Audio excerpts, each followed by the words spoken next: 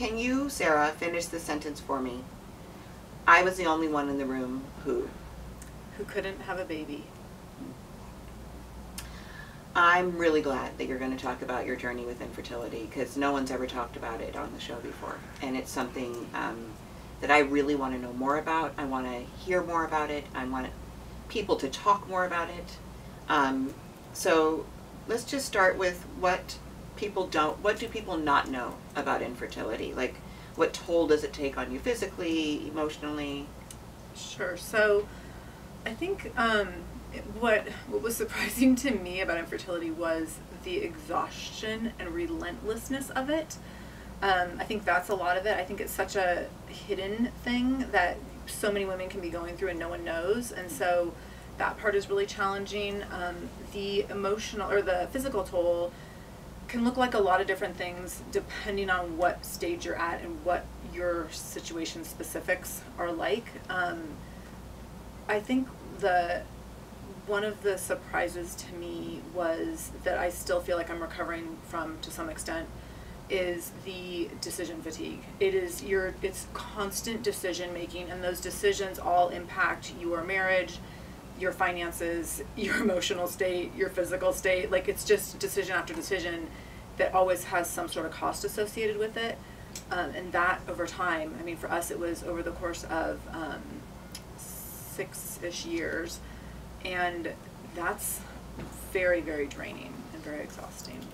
And and you're saying it always has a cost associated with it. I know there's tremendous financial costs. Yeah. But then you're also talking about the the cost Yes, on the- your relationship, Yeah. on your your body, Right. um, and your mental health. and your mental health. Yeah. And you know, it, and as as you're talking, it, it occurs to me that, you know, this is something that people who live um, at or below the poverty line probably don't even get that choice, right? Yeah, so that's I'm so glad you brought that up because my thing, having been through this and been through infertility in multiple um, facets, which I'm sure we'll get to, is that it is big business that is designed for rich people, and that is and their infertility clinics will. There's no end to the amount of money that they will take from you, Mm. and there's no limit to how much you can spend in terms of like there's always more options that always come in the form of thousands of dollars and so yeah if, if you don't have the resource the financial resources then you don't get to play that game and so it's definitely um, that was something that became harder and harder for me going through that process is Yeah.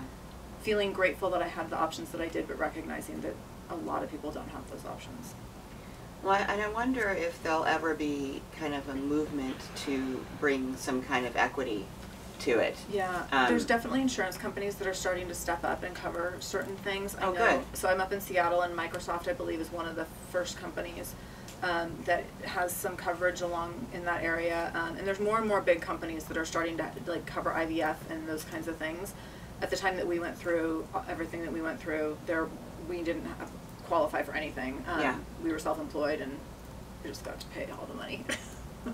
Yeah, I mean, and I, I have, have I've had several dear friends. Well, I've actually had three dear friends, and then several friends that have gone through it, and you know, it's just some of them is just to the limit of their bank account. Like Yeah. they would go further, yep, but they can't afford it. exactly. And then some of them have gone to the limit of their bank. I mean, gone all the way through with no Right. limit, but the body gave out. Like Yeah. then they couldn't take it anymore. Right, and it's really hard to know where to draw the line because Yeah. you kind of get to this point of, well, we can just try one more thing, or it's only three more thousand dollars, or ten more thousand dollars, or like one more round of this, that, or the other thing, and you always think like, if I do that one more thing and that's the thing, then it's worth it, and Yeah. so it's really hard to know where to draw that line, um, and for us, um, for us, we ended up, it became increasingly clear to where to draw the line and kind of what we were willing to do. But I will say early on, there was a million things I said I, said I would never do, and expenses I would never incur, and I like did all the things. Right, so it's right. interesting how your